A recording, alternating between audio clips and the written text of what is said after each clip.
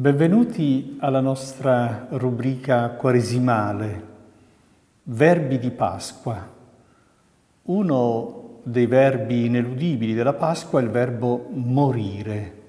Chi è il soggetto di questo verbo? È l'uomo. L'uomo è un animale mortale.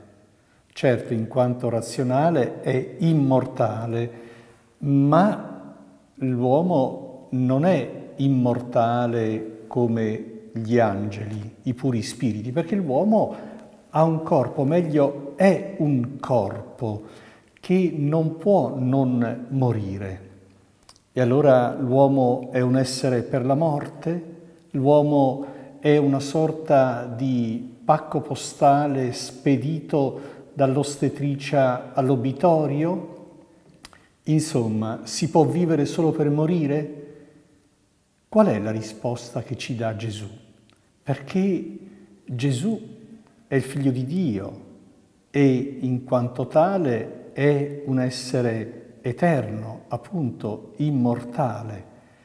E però Gesù è stato mandato dal Padre per vivere una esperienza autenticamente umana. Certo, poteva morire anche di vecchiaia e invece è morto giovane, è morto innocente. Perché è morto? È morto perché c'è stata una sorta di complicità, di coalizione contro di lui. Hanno cominciato dapprima gli scribi, i farisei, che l'hanno preso per un trasgressore della legge, Gesù che trasgrediva il sabato. Non era vero. È vero, certo, che Gesù ha detto che eh, non è l'uomo per il sabato, ma il sabato per l'uomo. E comunque gli scribi e i farisei hanno avuto gioco facile per montargli contro la folla, eh, tutta la, la gente che lo seguiva, che pure lo ha accompagnato fino a qualche giorno prima del processo, nella cosiddetta Domenica delle Palme è stato una sorta di ingresso trionfale, ma tutto sommato un eh, successo eh, precario, molto fatuo.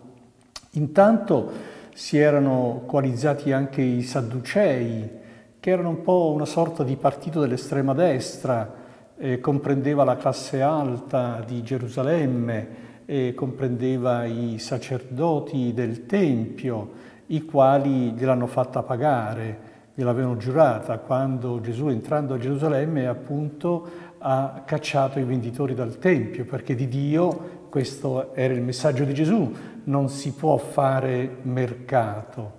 E contro di lui si sono schierati anche gli zeloti, eh, cioè coloro del partito armato, potremmo dire, che comprendeva anche i sicari. Forse Giuda Iscariota potrebbe significare oltre che uomo di Keriot per indicare la sua provenienza anche sicario, cioè coloro che andavano in giro armati con un pugnale corto sotto il mantello e lo brandivano a un segnale del capo e facevano una, una strage. Tutti questi sono rimasti delusi dal comportamento e dal messaggio di Gesù. E così anche i capi del popolo, i membri del Sinedrio, che poi hanno contagiato anche Pilato, e lo hanno preso e lo hanno voluto dalla loro parte, insomma, e hanno coinvolto anche Erode, e insomma tutti contro Gesù, perfino i suoi discepoli.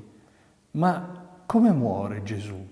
Certo, Gesù è innocente, ma lo era anche Socrate, e però Socrate muore come l'eroe greco, muore senza segni di paura quando il soldato si reca quella mattina presto eh, lì nel Pritaneo, il carcere di Atene, i suoi discepoli trattengono il fiato, ma eh, Socrate eh, imbraccia quella, eh, quel calice che conteneva il veleno mortale della cicuta e lo tracanna come fosse un eh, liquore eh, molto gradevole. Socrate non mostra segni di paura E Gesù invece sì, prova paura perché sa che la sua sarà una morte vera. E, e cosa fa Gesù? Potrebbe fare come Geremia, anche Geremia è stato condannato innocente, ma Geremia appella al tribunale di Dio e da Dio però chiede vendetta, che le loro mogli possano rimanere vedove, che i loro figli possano rimanere orfani, come per dire Signore fallo vedere che tu sei dalla mia parte, inceneriscili tutti. Non fa così Gesù, Gesù muore pregando, Padre perdonali perché non sanno quello che fanno. Gesù muore per amore, avendo amato i suoi li amò sino alla fine. Si spiega così anche la fuga dei discepoli. In fondo è stato Gesù stesso che nel Getsemani, quando sono venuti a catturarlo, ha favorito la loro fuga, ha detto se siete venuti per me, allora prendete me, ma lasciate andare liberi loro. Ecco, Gesù si offre come esca, ma non solo per loro. La sera prima nel cenacolo aveva detto questo è il calice del mio sangue che è sparso per voi e per le moltitudini, le moltitudini di, di oggi, di ieri, di domani, di, di sempre. Quindi muore per tutta l'umanità. Concretamente possiamo dire così, che su Gesù si è addensata una eh, coalizione eh, compatta che eh, lo ha eh, prima eh, minacciato, poi processato, poi condannato e poi crocefisso. Ecco, una violenza totalmente ingiustificata, ma di questa violenza totalmente ingiustificata Gesù ha fatto l'occasione per una dedizione totalmente incondizionata. Ha amato fino alla fine. Ecco come Gesù muore. E non possiamo allora dar seguito a quanto affermato nel Corano che Gesù sarebbe stato sostituito per un motivo peraltro nobile, eh, merita rispetto anche questa opinione del Corano, perché Dio non poteva far morire di quella morte infamante il suo servo, Gesù considerato un profeta, un grande profeta, non il figlio di Dio. Ma questo non risponde alla verità dei fatti, Gesù è realmente morto e detto questo, dopo aver detto tutto è compiuto, spirò. Gesù è cosalato il suo ultimo respiro, per cui possiamo dire che è amato fino alla fine, nel senso non solo fino all'ultimo respiro, ma fino al vertice dell'amore, che è appunto quello di dare la vita per amore. Ci possiamo domandare a questo punto allora che cosa cambia della nostra morte, perché anche noi siamo soggetti alla morte e prima o, o poi verrà anche per noi la ora fatale.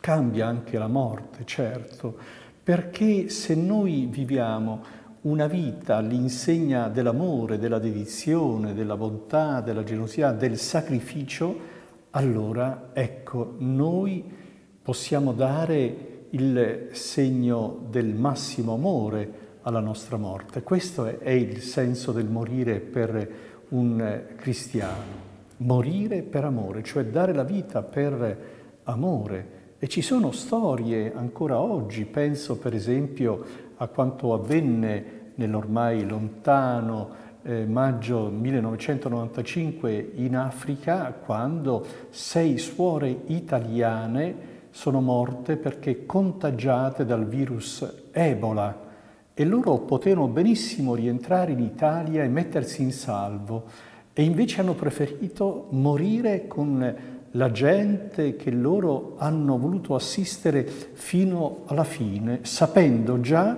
che contagiate da quel virus prima o poi anche loro sarebbero morte. E sono morte cantando, Signore voglio dirti sì con tutta la mia vita, canta un canto che nella loro comunità essi, esse ripetevano spesso. Ecco, dare la vita per amore.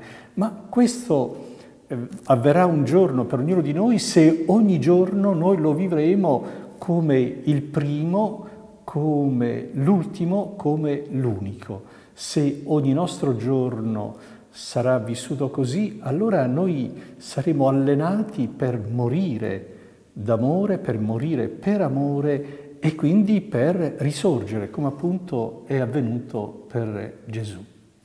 Grazie, buona continuazione del cammino quaresimale e già fin d'ora buona Pasqua.